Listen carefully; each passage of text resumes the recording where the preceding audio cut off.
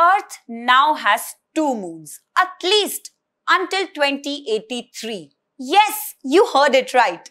NASA has confirmed that our planet has a brand new cosmic companion, a small asteroid named 2025 PN7, officially classified a quasi-satellite. Now it's not a true moon.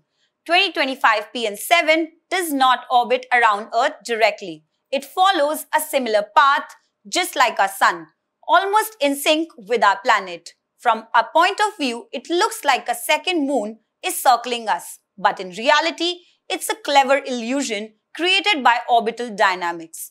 The object was first spotted in August 2025 by the Pan-STARRS survey in Hawaii's Haleakala Observatory.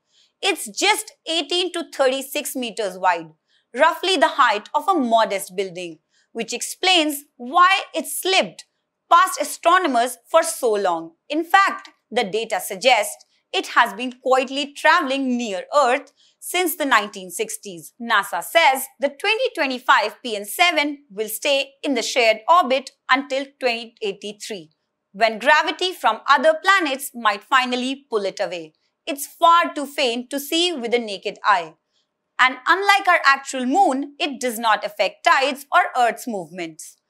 This tiny second moon offers a rare opportunity to study how small bodies behave near planets. And it's a vivid reminder that even in our cosmic backyard, space still has surprises to be discovered. For more such videos, subscribe to the NewsX YouTube channel, hit the bell icon.